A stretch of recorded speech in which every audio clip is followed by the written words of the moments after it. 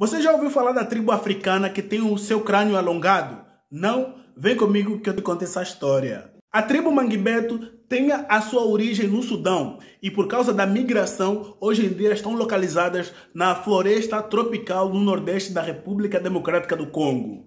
Os manguebetos são conhecidos por terem cabeças alongadas.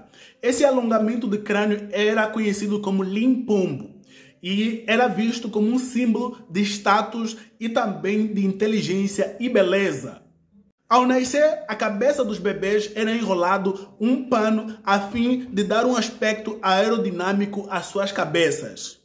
A prática do limpombo foi proibida pelo governo belga na República Democrática do Congo e começou a desaparecer na década de 1950, com a chegada de mais europeus e também com a ocidentalização. O limpombo também era uma prática existente no Egito Antigo, e as figuras egípcias mais conhecidas com limpombo são a rainha Nefertiti e também o rei Tutankhamon.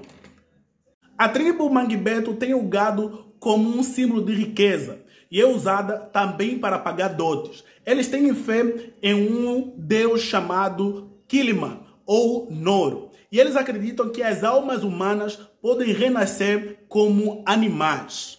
Quando os europeus chegaram no reino, perceberam que os manguebetos eram sofisticados politicamente e tinham a arte e a música altamente desenvolvidas. Eles encontraram também várias ferramentas no reino, como por exemplo lanças de ferro e de cobre, facas e também panelas esculpidas, uma evidência do avanço tecnológico da época. A tribo Manguebeto, também conhecida pela sua beleza feminina através dos penteados e também das unhas longas. E na arte, Beyoncé e Nina Simone representaram muito bem a arte e a beleza do povo Manguebeto. Você conhecia essa tribo? Não? Deixa aqui nos comentários e me siga para mais vídeos e conteúdo sobre o continente africano.